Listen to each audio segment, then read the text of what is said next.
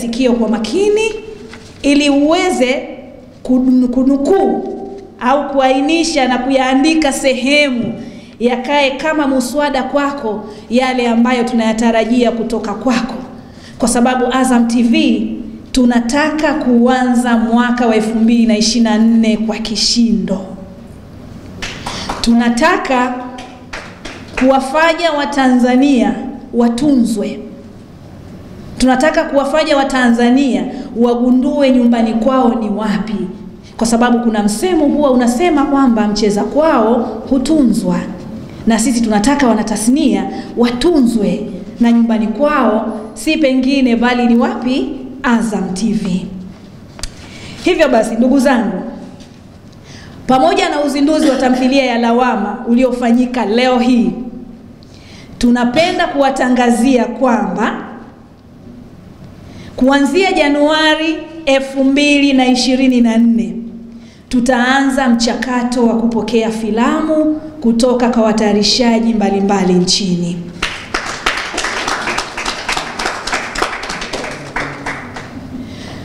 Tunajua kuwa watayarishaji wengi wamekuwa wakilisubiri tangazo hili muda mrefu na kwa hamu kubwa sana. Sasa Azam Media Limited kupitia chaneli yake ya sinema zetu inawatakia waandaaji hao kujiandaa na kuhakikisha kuwa wanakidhi vigezo vya awali nitakavyovitaja tena hapa chini. Vigezo hivi ni muhimu sana kwako mdau wa filamu, kwako mwandaaji, mwongozaji ambaye unataka kutunzwa na chaneli ya sinema zetu kupitia Azam TV. Cha kwanza, tutaangalia nini? Tutaangalia wazo la kipekee lenye maelezo mafupi yasiyopungua kurasa mbili pamoja na pitch deck isiyopungua kurasa kumi ambayo inajumuisha maelezo mafupi na ya kina kuhusu hadithi yenyewe. Uwe na film treatment, wahusika tarajiwa na sifa zao, character bible, mandhari tarajiwa na muonekano wa filamu moodboard na storyboard pamoja na maelezo mafupi kutoka kwa mzalishaji na mwongozaji wa filamu, yani note of intent pamoja na producer's statement, ikielezea upekee wa hadithi ambayo unataka sisi Azam TV tuitunze.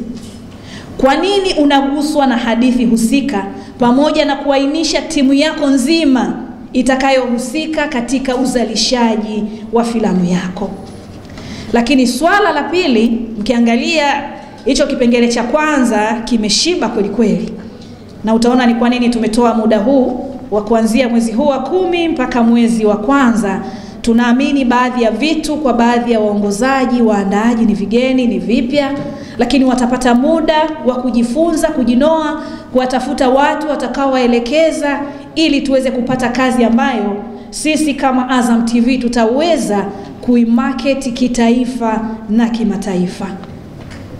Swala la pili, tutataka mtuletee muswada au skripti ya hadithi husika, lakini pia uwe na ushahidi wa kazi zilizopita ambazo zimefanywa pamoja na director na producer ambaye unatarajia kufanya naye kazi au ambaye anataka kuja kufanya kazi na sisi. Lakini utuwasilishie pia mpango wa uzalishaji wa filamu husika. Utuelezee hatua za uzalishaji kuanzia uandishi wenyewe wa skripti, casting yako, pre-production, production pamoja na post production. Pia wakati ukiwasilisha utatuambia upo katika hatua gani kati ya hizo ambazo nimezitaja. Kwa hiyo ndugu zangu, kazi kwenu, milango iko wazi. Swala la tano ambalo pia uh, inabidi mlifanyie kazi kweli kweli ni kuhusiana na bajeti. Bajeti yenu lazima tuione, lazima tuithibitishe, lazima tujue bajeti hii inawiana na kile ulichokiandika. Sawa? Kwa bajeti yako iguse eneo la uandishi, uigizaji kwa maana ya casting yako, facilities au equipment utakazotumia, kamera na vitu vyote vinavyohusika katika uzalishaji, taa pamoja na sauti, mavazi ambayo ni muhimu sana ili isije ikatokea uh, line producer au PM au mtu wa costume na wardrobe anamwambia wewe vaa upendeze, sini yako ni ya ofisini. Hapana, lazima vazi la kila muhusika katika kila scene liainishwe na liibebe hadithi husika, kwa sababu vazi halivaliwi tu alimradi mtu kavaa kapendeza. Lazima liwe ni sehemu ya usimuliaji wa hadithi ambayo tunataka kuiuza kwa Watanzania na wawe na sababu ya kwa nini wasalie na Azam TV kupitia chaneli ya sinema zetu. Lakini pia utagusia masuala ya mandhari kwa maana ya locations, ili kuepuka zile kesi za kufika location afu unakuta location haijalipiwa, haina kibali, mnatimliwa, wasanii waamsha toka asubuhi, wanakaa hapo wanazurura, we wameshapaka makeup zao, mpaka ile mood ya kufanya production inafanya nini, inawatoka. Makeup as well, makeup lazima itafsiri aina ya message ambayo inakuja kuonyeshwa. Tusione mtu amelala na makeup wanja kope, eh, foundation mapoda, lipstick juu, mtu kalala usingizini fofofo, anamka alfajiri. Ah, ah, tutakuwa tunajitukanisha sisi wenyewe, si ndio? Makeup iwe na sababu ya kwa nini iko hapo. Uhariri kila stages mpaka mtu wa final, bajeti yake iwepo. Chakula, usafiri, mawasiliano pamoja na utawala kwa ujumla wake. Na swala la mwisho katika hayo, uwasilishe uthibitisho wa hadithi na muswada wa filamu inayohusika. Kwa maana hiyo ni kwamba hapa mamlaka husika ambazo zinasimamia kazi zetu lazima zikupe kibali wewe. Script yako lazima ipite KOSOTA. Umenielewa eh? Ukipita huko unatuletea kithibitisho kwa maana ya kile cheti kile. Sawa? Hapo sasa utakuwa umekidhi vile vigezo vya awali vya kuweza kutathminiwa kutoka katika kamati ya maudhui. Angalizo, ndugu zangu waandaaji, waongozaji, wanatasnia ambao mnataka kuji, kuji, kuji nini kujikita katika hili, naomba mfahamu kuwa hadithi mtakazoziwasilisha ziwe zimefanyiwa utafiti wa kutosha, ziwe zina utofauti wa kipekee, zinazoitangaza vyema lugha yetu ya Kiswahili na utamaduni wa Mtanzania na taifa letu kwa kiasi kikubwa, na si zisiwe zile hadithi ambazo zina viashiria vya ubaguzi wa rangi. Jamani, mtu akitazama kazi yetu aseme hii kazi imetoka Tanzania, asipate tabu ya kujiuliza hii kazi imetoka nchi gani. Sisi Watanzania tuna utamaduni wetu, tuna vitu ambavyo tunavitukuza na tuna vitu ambavyo tunavikemea kwa hali ya juu. Kwa hiyo hilo tulizingatie, lakini tunategemea hadithi mtakazotuletea ziwe na uwezo wa kuzalisha filamu isiyopungua dakika tisini. Sawa eh? Na swala lingine tunatarajia sasa filamu husika iwe na viwango vya kimataifa kama kawaida yetu, kama ambavyo tumekuwa tukiwaeleza. Ina maana viwe katika mfumo wa HD ambapo utaweza kuchezwa katika platforms tofauti tofauti. Pamoja na hayo uh, nikisema platforms tofauti tofauti hapa namaanisha kwamba tukitaka kucheza katika kumbi za sinema, ina maana zina uwezo huo, kwa hiyo ziwe katika mfumo wa DCP au Blu-ray. Tukitaka kucheza katika runinga obvious tuwe na uwezo huo, lakini tukitaka kuzicheza katika digital platforms ziwe na uwezo huo, na hasa ukizingatia kwamba tunayo uh, application yetu ya Azam TV Max ambayo tunatarajia kwamba kazi zetu huenda pia zikaonekana huko.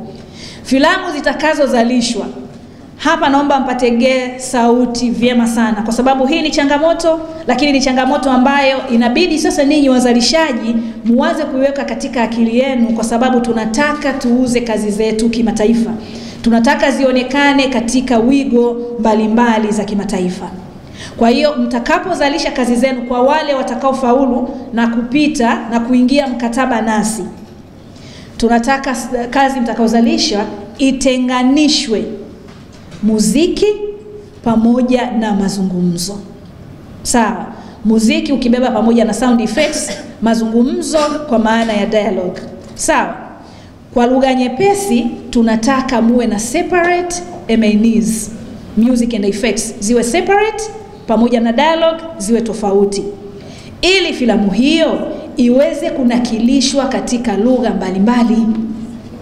Tunataka filamu zetu zitakazozalishwa ziweze kunakilishwa katika lugha mathalan za kutoka Afrika Kusini, Nigeria, Ghana, Kenya, Uganda, Ulaya, Amerika eh, na sehemu mbalimbali.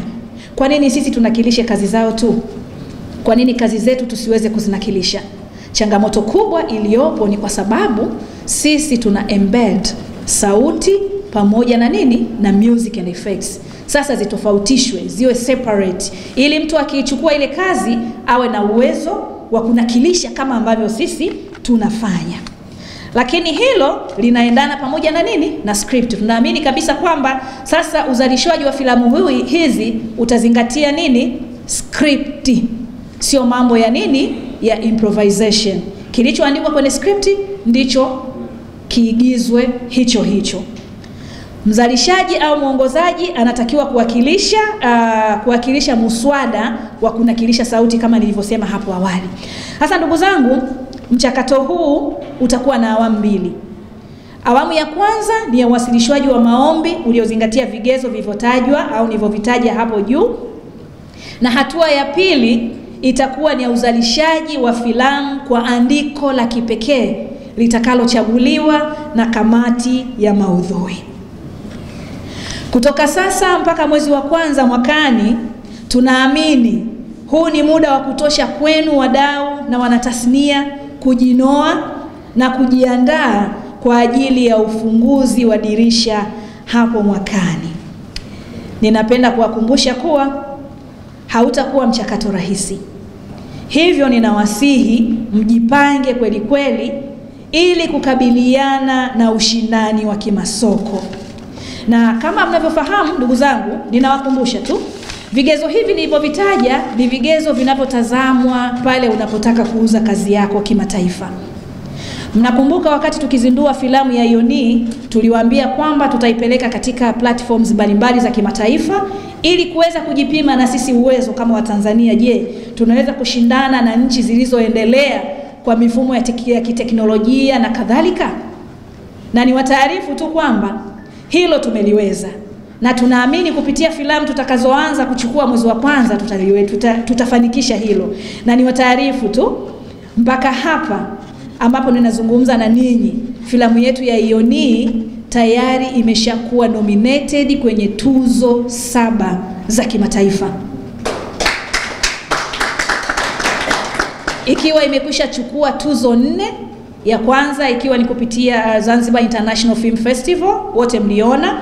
Ya pili ikiwa ni kupitia uh, Swahili International Film Festival tuipata tuzo tatu, lakini tumepata pia uh, nomination kupitia Rabat International Film Festival Morocco, sio swala dogo, na wenzetu wanaondoka mwezi wa kumi na moja kwenda kutuwakilisha huko lakini pia tumepata nomination kupitia Milan Film Festival Italy, sio swala dogo. Watanzania tunaweza, na tukiamua kulibeba jambo letu tunaweza, na huko tumekuwa nominated katika category